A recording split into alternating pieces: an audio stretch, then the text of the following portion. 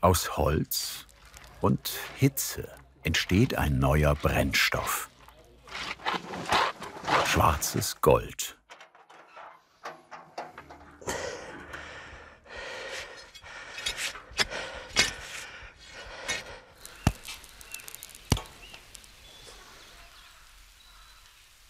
Wenn der Dampf durch die Bäume durchzieht und die Sonne dagegen sticht, wenn man auch bloß einmal vor die Hefe drinnen steht und dem Dampf aus der Pfeife raus zuguckt, wie der rauskommt, weil der kommt nie gleich raus.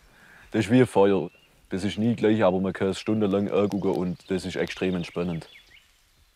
Sie glüht und glimmt und so mancher Sack Holzkohle geht beim Grillen in Rauch auf. Die Köhler Max und Norbert Geiselhardt sind zehn Tage lang im Dauereinsatz, damit aus Holz Kohle wird.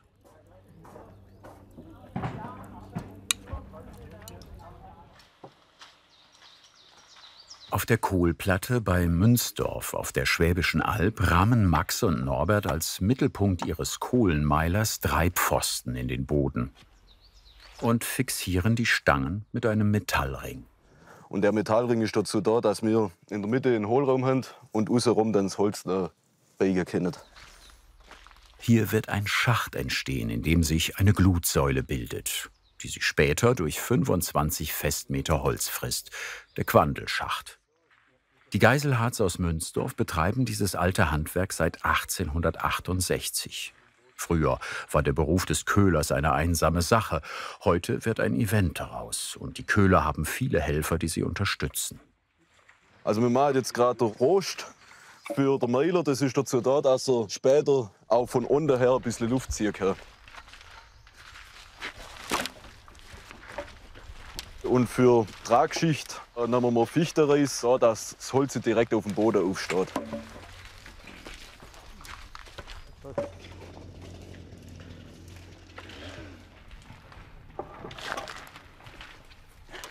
Holz, so wie wir jetzt äh, Natur nehmen, noch ist das krumm und hat ab und zu mal einen Ast. Und dann kann es auch sein, dass man es zwei, dreimal an unterschiedliche Stellen legt, bis man jetzt richtige Fleck gefunden hat, wo es passt ja, dass einfach keine Hohlräume äh, entstanden, wo sich später dann der Sauerstoff sammeln kann. Und wo Sauerstoff ist, entsteht eine Flamme und wir wollen ja keine Flamme, weil Flamme gibt Asche. Wir wollen ja Holzkohle als Produkt rauskriegen. Holzkohle wurde traditionell schon immer direkt im Wald hergestellt. Denn Kohle ist um ein Vielfaches leichter als frisch geschlagenes Holz. Das erleichterte den Transport ohne Holzkohle wäre es niemals möglich gewesen, aus Erzen Metall zu gewinnen, denn sie brennt heißer als ein normales Holzfeuer.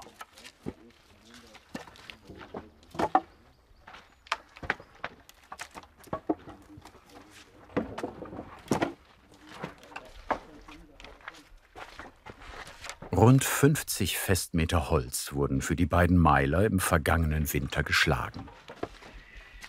Man kann jedes Holz verkohlen. Buche, Esche, Eiche sind vom Kohl her, weil die am meisten Brennwert haben. Der Kohl, so heißt respektvoll die Kohle in der Köhlerfamilie.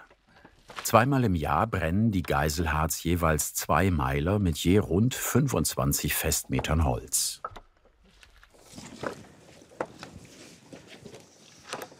So, her mit den Scheit. Zehn Tage verbringen dann die Köhler im Wald und pflegen die glühenden und dampfenden Haufen. Alle zwei Stunden. So, jetzt haben wir den Quendelschacht aufstellen. Das sind jetzt halbgespaltene Scheite, die auf 62 cm angesägt sind. Und die werden jetzt über Kreuz immer auf das mittlere Loch, wo wir am Anfang gemacht haben, aufbiegen.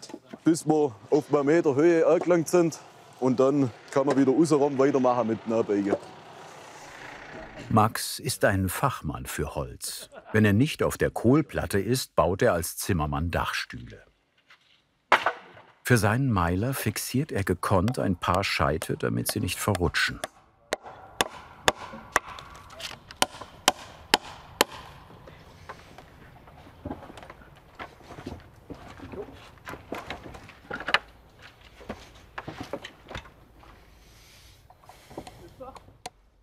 Bei den Halbspalten außenrum ist wichtig, dass die satt an den Dörner sitzen, Aus dem einen Grund, wenn die jetzt Satz hocken, dann kann er später schneller die Glut nach außen drücken, beziehungsweise der Kohl zieht nach außen schaffen. Und noch kann es sein, dass er dadurch äh, relativ zügig auch einseitig wird. Und das wollen wir ja. Wir wollen ja im besten Fall gleichmäßig runterkohlen, der Mailer.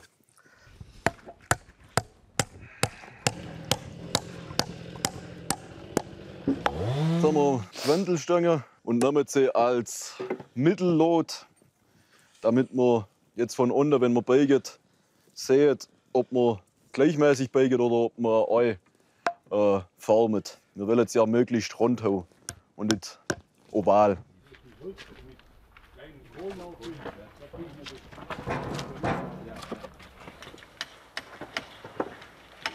Mit langen und kurzen Holzscheiten entsteht die charakteristische Kegelform des Kohlenmeilers. Er wird am Ende einen Durchmesser von 6 bis 7 Metern haben und rund 2,50 Meter hoch sein.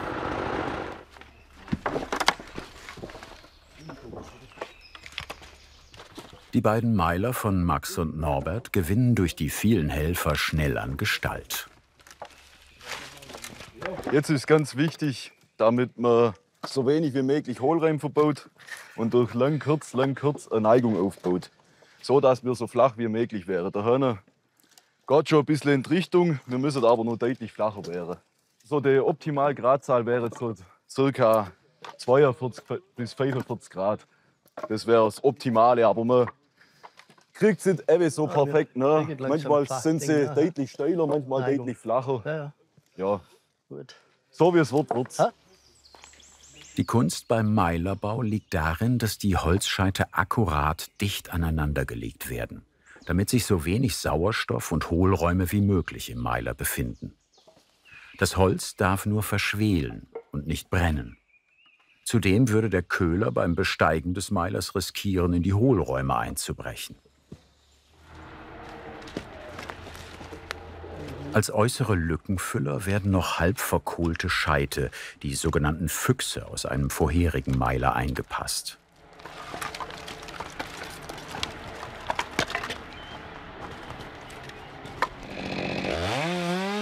Zuletzt erhält der Meilerkopf mit der Motorsäge noch eine anständige Frisur. Die Ebene auf dem Meiler muss flach sein, damit sie später gefahrlos begangen werden kann. Wir sind jetzt soweit fertig mit Phase 1 mit dem Aufschichter vom Haufen. Es ist gut gelaufen. Sie haben ungefähr die Form, was sie haben sollen. Dann wären wir soweit. Soweit für den nächsten Schritt.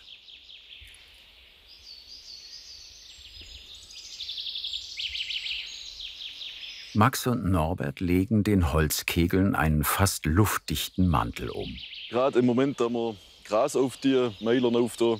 Das ist eigentlich reine Tragschicht damit nachher die Lösche zwischen das Holz rieseln kann.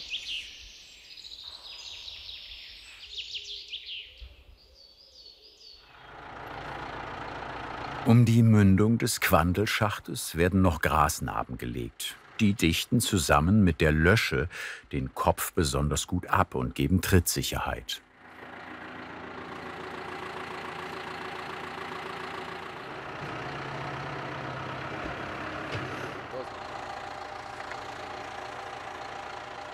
Lösche ist eine Mischung zwischen Kohlestaub, Kohlebrickel und Humus. Aber der, in Anführungszeichen der Abfall von den vorherigen Meiler. Weil das ist die beste Abdeckschicht, die man eigentlich so haben kann. Weil egal, ob es jetzt zehn Tage lang regnet oder gar nicht regnet, die bleibt formstabil. Es bildet sich keine Risse und sie macht aber auch nie ganz hundertprozentig dicht. Der Meiler ist mit Ausnahme des Quandelschachtes nach außen mit dem luftdichten Mantel verschlossen und isoliert. Durch den Luftabschluss verschwelt das Holz nur und verbrennt nicht. Norberts Meiler ist etwas steil geraten. Damit der Mantel stabil bleibt, hat er aus langen Holzscheiten ein Riester, einen Rahmen gebaut. Der verhindert, dass die Lösche abrutscht.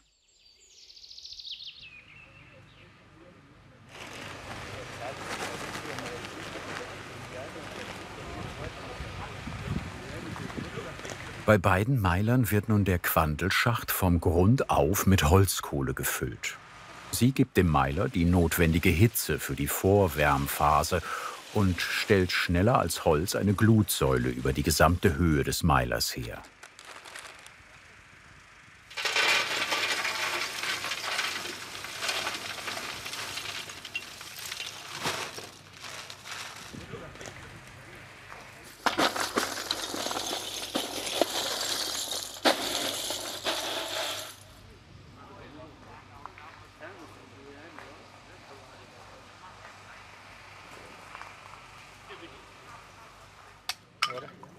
Ich mache jetzt Speicherle.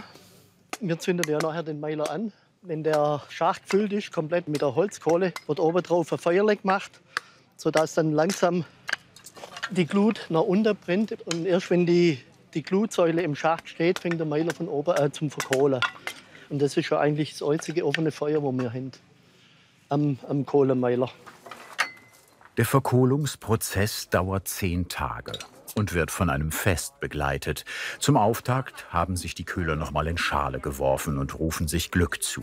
Gut Brand.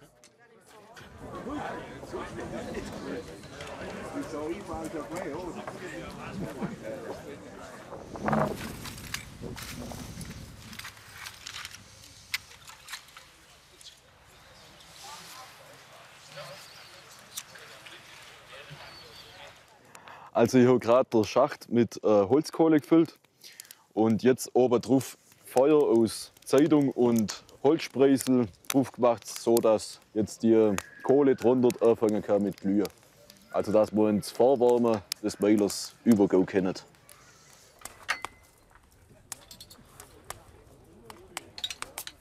Mit dem Anzünden des Meilers beginnen heikle Stunden. Während der ersten zwei Tage ist alle zwei Stunden eine Kontrolle des Meilers erforderlich. Der Meiler muss gefüttert werden. Diese Phase ist für den Köhler arbeitsaufwendig.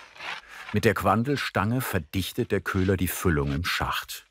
Durch das Nachstochern wandert die glühende Holzkohle nach unten. In diesem Stadium muss dem Meiler regelmäßig Energie zugefüttert werden. Immer wieder füllt der Köhler den Schacht mit Holzkohle und Füchsen nach.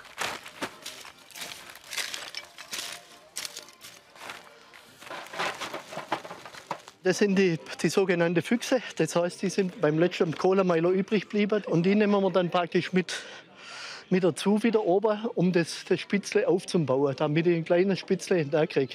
Und dann sehe ich auch, wenn, das, wenn sich das Spitzle wieder senkt, dass meine Blut in meinem Schacht weiter nach unten gewandert ist. Ja. Und das heißt für mich wieder, ich muss wieder aufmachen, nachfüllen und wieder nachstochen.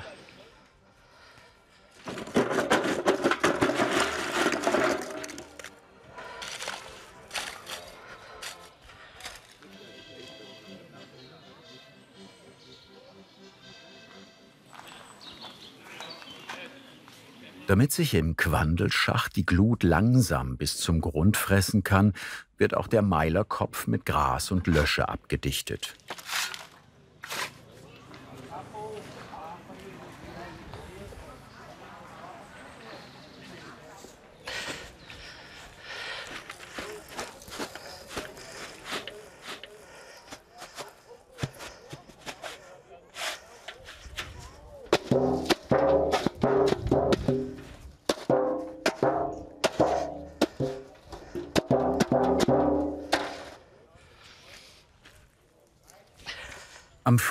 Abend des ersten Brandtages sticht Köhler Norbert ein Luftloch, die erste Pfeife in den Meiler.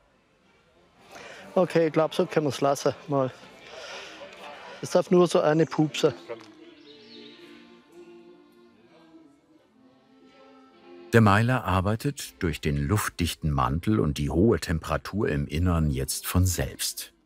Beim langsamen Verglimmen wird dem Holz Feuchtigkeit entzogen, die als Dampf entweicht.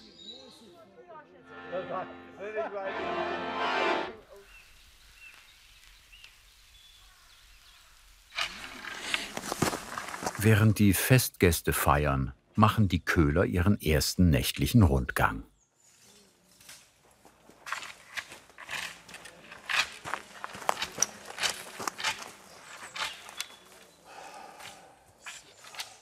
Norbert öffnet den Quandelschacht.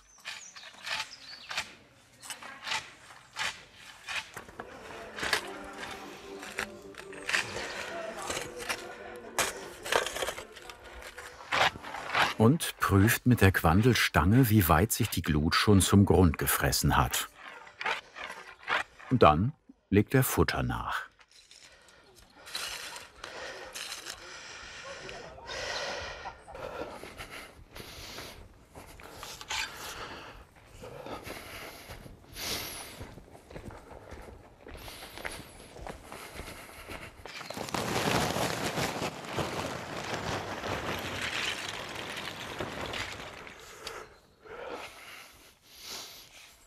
Der Meiler wird wieder mit Gras und Lösche verschlossen und Stellen, an denen es durch den Mantel dampft, abgedichtet, um die Sauerstoffzufuhr von außen so gering wie möglich zu halten.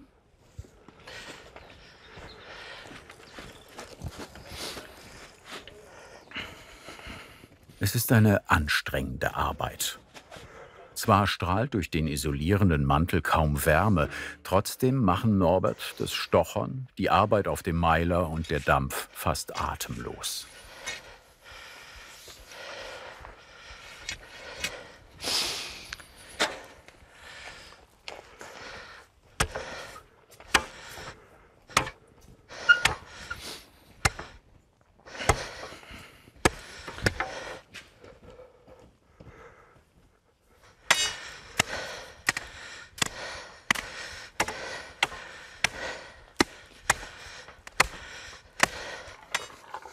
Wenn der Köhler mit seiner Quandelstange die Kohlplatte erreicht hat, dann weiß er, dass die Glutsäule bis zum Boden reicht.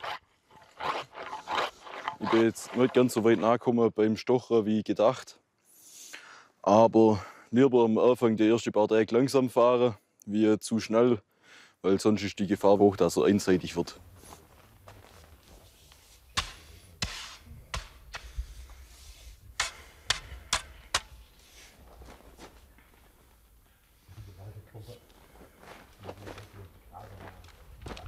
Jetzt muss ich noch gucken, dass ich oben voll dicht kriege und gerade auch das Rausdampfen außenrum, damit das nahezu verschwindet. Eigentlich sollte er bloß in der Mitte ein bisschen Dampfen ganz wegkriegen, tut man es nie. Aber so gut wie möglich verschwinden lassen, ist das größte Ziel.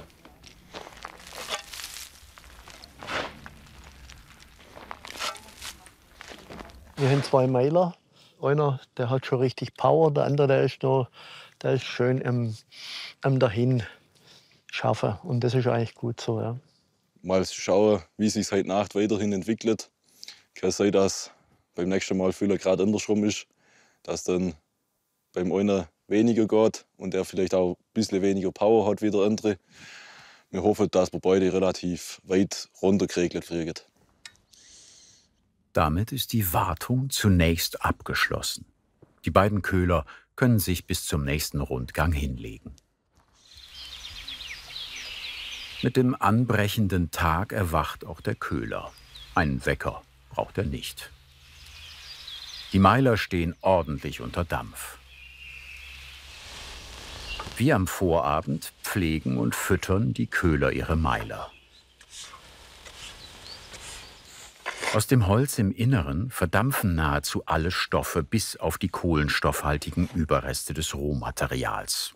Daher spricht der Köhler nicht vom Rauch, sondern von Dampf. Wäre es Rauch, würde es im Meiler nicht schwelen, sondern brennen.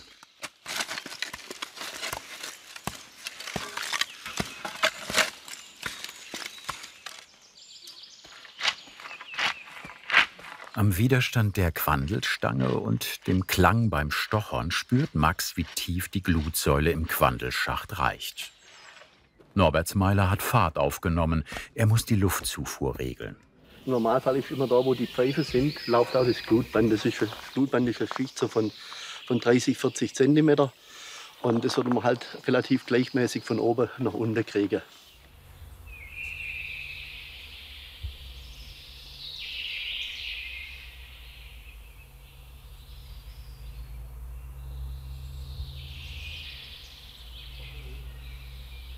Den Prozess beobachten kann auch wirklich fast schon hypnotisierend sein.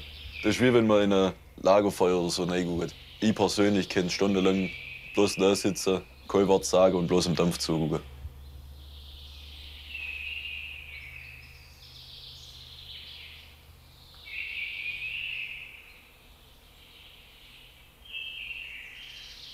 Im Verlauf des Schwelbrandes wird der Kegel insgesamt auf ca. ein Drittel seines ursprünglichen Volumens zusammensinken.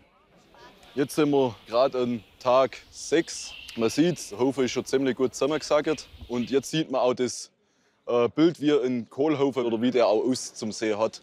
Damit gerade, wie man hier sieht, der Hörner flach herkommt und dann steil hochgeht, ein Kopf hoch. Und das ist ein gutes Zeichen, weil nachher hat es im Kern innen drin nicht mehr viel Holz, wenn das wirklich so ein Eck macht. Mit einem großen Holzhammer, dem Schlegel, verdichtet Max den Meiler. Heute Abend sind wir schon wieder so weit, dass wir den Kohlemeiler abklopfen, also verdichtet, damit der Kohl satt beieinander hockt, damit keine Hohlräume entstehen, wo sich dann der Sauerstoff bilden kann. Ein gutes Zeichen für den Köhler ist, wenn man gerade hier die Meilerblüte sieht. Das ist, sind Schwefelablagerungen und das ist das Zeichen dafür, damit die Abdeckung, Abdeckungsstärke passt und damit auch im Inneren der Verkohlungsprozess gut vonstatten geht. Unter denen haben wir jetzt mehrere Löcher gemacht. An den Stellen hat die Pfeife jetzt sauber gezogen. Das heißt, da hat er zu wenig Sauerstoff gekriegt. Bei dem haben wir die Löcher weggemacht, das Gras ein bisschen weggezogen, sodass direkt der Sauerstoff in Meiler reinziehen kann, damit da wieder ein bisschen mehr Leben rauskommt. Unter der Lösche im oberen Bereich liegt schon die fertige Holzkohle. Bis zur Ernte dauert es aber noch vier Tage. So lange sollte der Meiler einen kühlen Kopf bewahren. Köhler Max hilft mit einer sanften Berieselung nach.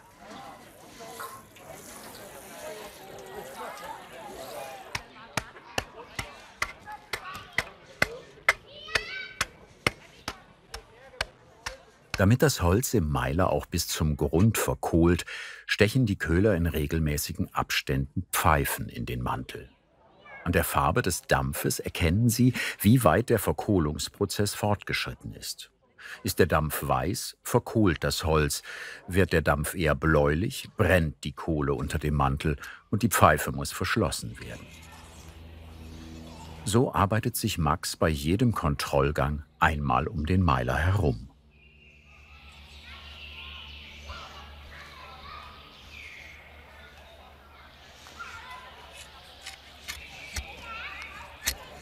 Hier sieht man die Feuchte, die aus dem Meiler rauskommt.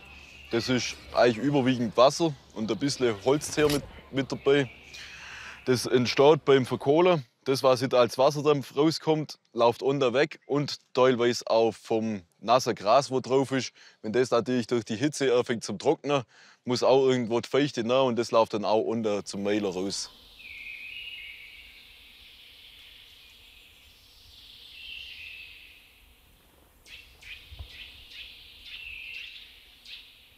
Die Glut sucht sich den Weg des geringsten Widerstandes und wandert immer zur Sauerstoffquelle hin.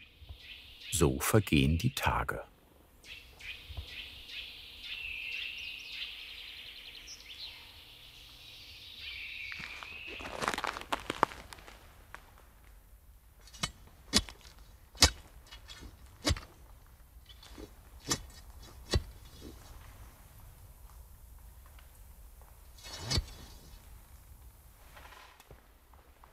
kommt relativ viel Holz, wo ich gerade reinsteche. Ist auch noch normal, weil ja, wir sind ja nicht ganz fertig. Aber es fühlt sich schon gut an. Wir sind schon relativ weit. Ja, und es kommt jetzt inzwischen auch wieder Iprall Dampf.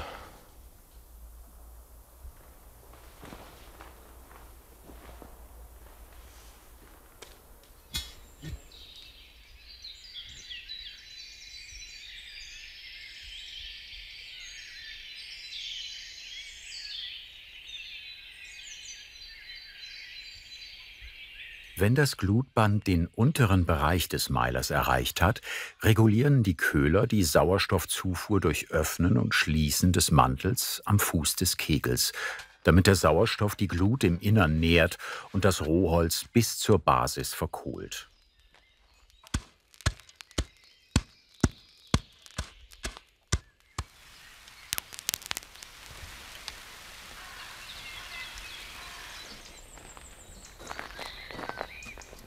Der Verkohlungsprozess geht dem Ende entgegen. Nun müssen die Meiler noch zwei Tage abkühlen, ehe sie ausgezogen, also geerntet werden.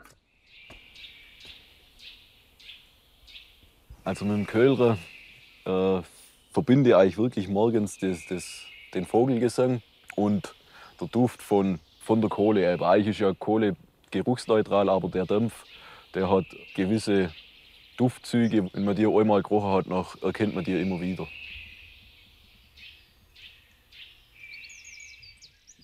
Nach zehn Tagen ist der Verschwelungsprozess abgeschlossen.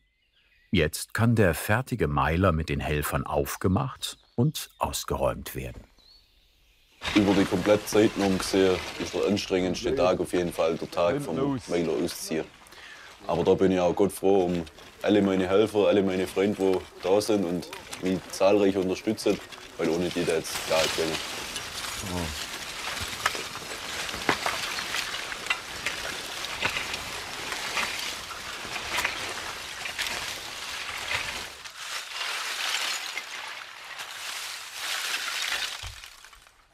Ah, warte, ist doch Musik in die Ohren. Na, aber hörst du die Musik? Ja.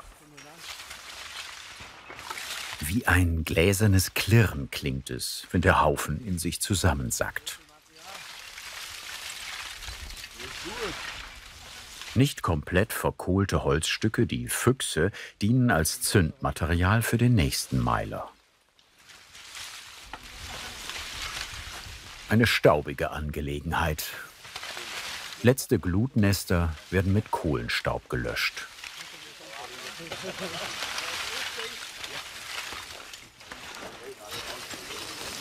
Umso größer der Kohl, umso stolzer sind wir. Das liegt daran, weil das Holz verliert ja bloß an Volumen. Normalerweise es bricht an ein paar Stellen, die Meterscheid, wo wir haben. Und das eigentlich auch bloß aus dem Grund, weil wir es klopfen, dass wir den Hohlreim rauskriegen.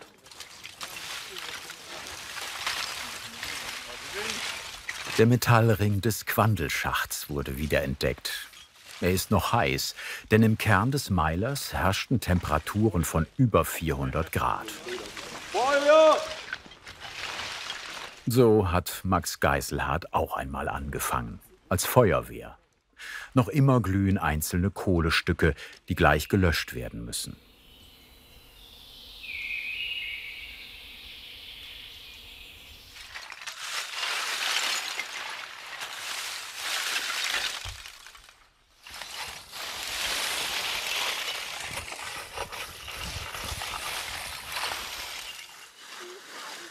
Die handgeköhlerte Kohle die hält deutlich länger. Sie braucht zwar ein bisschen länger, bis sie glüht. Allerdings, wenn sie einmal glüht, dann glüht sie ewig und ist halt auch deutlich heißer. Für den Liebhaber beim Grillen ist die Kohle optimal.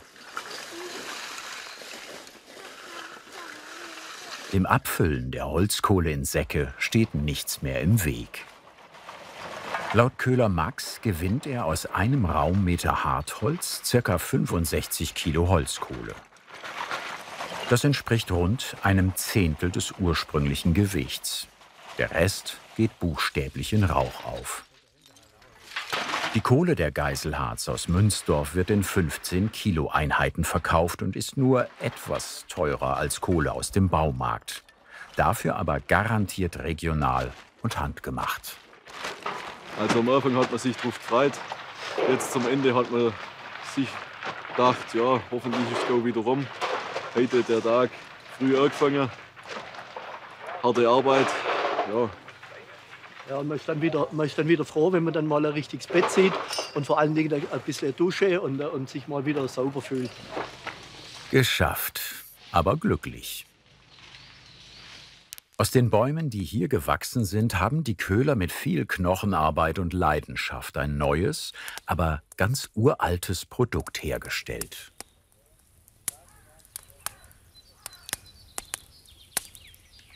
Hat dir diese Handwerkskunst gefallen? Dann schreib uns deine Meinung zum Film in die Kommentare. Und nicht vergessen, Kanal abonnieren.